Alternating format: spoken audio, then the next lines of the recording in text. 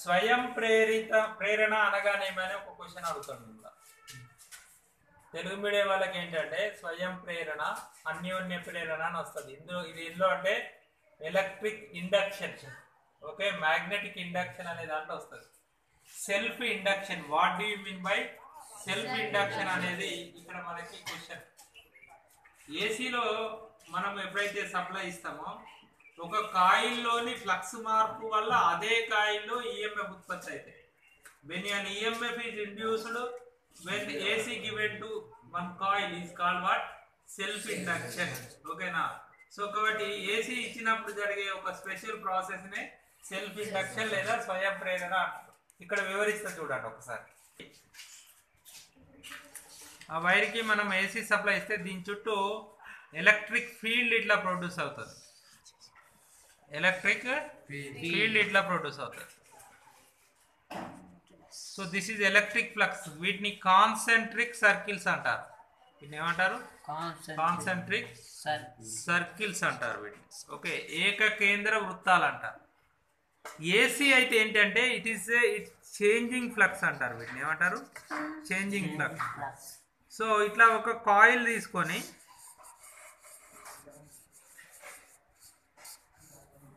ఇక్కడ మనము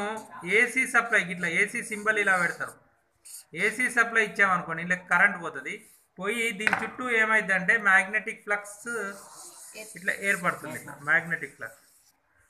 సో ఈ మ్యాగ్నెటిక్ ఫ్లక్స్ ఏమవుతాయి అంటే ఏసీ ఫ్లక్స్ కాబట్టి వ్యారీ అవుతాయి this AC flux will vary with the supply so due to that varying flux and EMF will induce in it due to this varying flux due to this varying flux. An EMF will induce, due to varying flux, is called self induction.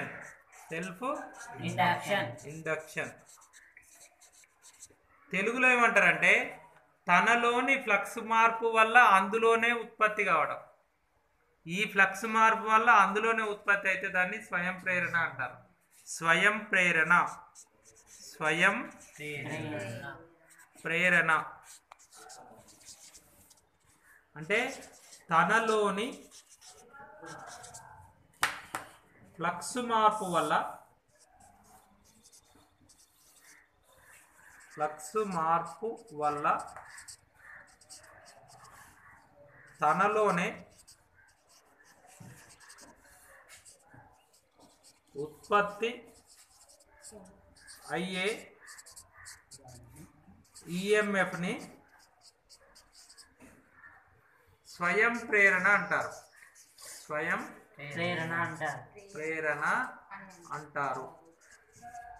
So కాబట్టి Self induction is the process is appearing when AC supply given to a circuit. So when AC is given to a circuit and varying uh, EMF will produce due to that an EMF will produce in the coil. So varying flux is called what? Self induction. స్వయం ప్రేరణ అంటే అంటే తనలో flux మార్పు వల్ల ఉత్పత్తి అయ్యే ఈఎంఎఫ్నే స్వయం ప్రేరణ అంటారు ఇది మనకి ఎక్కడ ఉపయోగపడుతుంది అంటే ఇండక్షన్ మోటార్స్లలో ట్రాన్స్ఫార్మర్లలో చాలా ఉపయోగపడుతుంది చాలా ఇంపార్టెంట్ కాన్సెప్ట్ సో ఇక్కడే తెలుసుకుందాం ఇంకొకటి ఇక్కడనే మనకి ఈజీగా అర్థం అవుతుంది ఇది స్వయం ప్రేరణ కదా మ్యూచువల్ ఇండక్షన్ అంటారు మ్యూచువల్ ఇండక్షన్ అంటే ఒక ప్రేరణ అంటారు మళ్ళీ ఇంకోసారి ఎందుకు ఇక్కడే చెప్పుకుందాం అన్యోన్య ప్రేరణ అంటారు అన్యోన్య ప్రేరణ అంటారు దీన్ని మ్యూచువల్ ఇండక్షన్ అంటారు ఏమంటారు మ్యూచువల్ ఇండక్షన్ అంటారు అంటే ఇలా ఒక కాయిల్ తీసుకున్నాం అనుకోండి సపోజ్ ఈ కాయిల్లో మనం ఇక్కడ మనం ఏం చేసాము ఏసీ సప్లై ఇచ్చాము అనుకోండి ఏసీ సప్లై ఇస్తే ఇక్కడ కాయిల్లో ఏమవుతుంది ఇలా ఫ్లక్స్ జనరేట్ అవుతుంది ఇలా ఫ్లక్స్ జనరేట్ అయినప్పుడు పక్కకే ఇంకో కాయిల్ తీసుకొచ్చి పెట్టామనుకోండి ఇలా అంటే ఇక్కడ సప్లై చేయడం వల్ల ఇందులో జనరేట్ అవుతుంది ఈ కాయిల్ వల్ల పక్క దాంట్లో అంటే ఆ పక్క దాంట్లో ఉత్పత్తి అయితే దాన్ని మ్యూచువల్ అని ఇందులో ఉత్పత్తి అయితే దాన్ని ఏమంటారు సెల్ఫ్ అంటారు సో ఒక కాయిల్ వల్ల ఫ్లక్స్ మార్పు వల్ల పక్క కాయిల్లో ఉత్పత్తి అయింది అనుకోండి అంటే ఒక కాయిల్లోని ఫ్లక్స్ మార్పు వల్ల ప్రక్క కాయిల్లో ఈఎంఎఫ్ e ఉత్పత్తి కావడాన్ని కావడాన్ని అన్యోన్య ప్రేరణ అంటారు అన్యోన్య ప్రేరణ మన క్వశ్చన్లో ఓన్లీ సెల్ఫ్ ఇండక్షన్ అడిగిండు కానీ ఇది కూడా అడుగుతాడు అప్పుడప్పుడు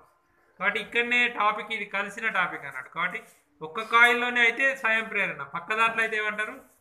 అన్యోన్య ప్రేరణ అదేమో సెల్ఫ్ ఇండక్షన్ ఇదేమో మ్యూచువల్ ఇండక్షన్ ఇది ముఖ్యంగా ఎక్కడ పనిచేస్తుంది ట్రాన్స్ఫార్మర్లలో పనికి వస్తుంది రెండోది ఎక్కడ పనిచేస్తుంది ఇండక్షన్ మోటార్లలో పనికి వస్తుంది చాలా చాలా ఇంపార్టెంట్ బేసిక్ రూల్ అన్నట్టు దీంతోనే మోటార్లు పనిచేస్తాయి దీంతోనే ట్రాన్స్ఫార్మర్లు పనిచేస్తాయి సెల్ఫ్ ఇండక్షన్ మ్యూచువల్ ఇండక్షన్ అనేది ఎక్కడ వస్తుంది ఏ టాపిక్ ఇది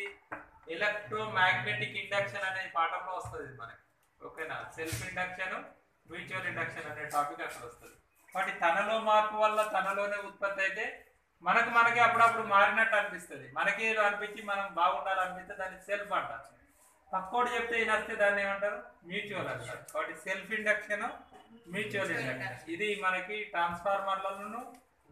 ఇండక్షన్ మోటార్లలో చాలా ఉపయోగపడుతుంది ఓకే సో ఇండక్షన్ ప్రిన్సిపల్స్ చాలా ఉపయోగం ఎందుకంటే ఏసీలోనే ఉంటుంది మళ్ళీ ఇది డీసీలో ఈ ఎఫెక్ట్ ఉండదు ఎందుకంటే DC is the constant current AC is the varying current varying current వల్ల ఈ ఎఫెక్ట్ ఉంటుంది ఓకే థ్యాంక్ యూ